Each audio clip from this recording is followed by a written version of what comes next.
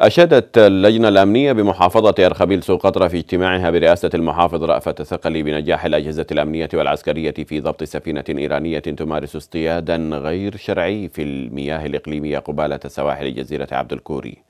وأقر الاجتماع تشكيل لجنة مشتركة من الوحدات والأجهزة الأمنية المختصة للتحقيق مع طاقم السفينة والعمل على معاينتها وتفتيشها ورفع تقرير شامل عما تحتويه بما فيه كمية الأسماك في أسرع وقت ممكن.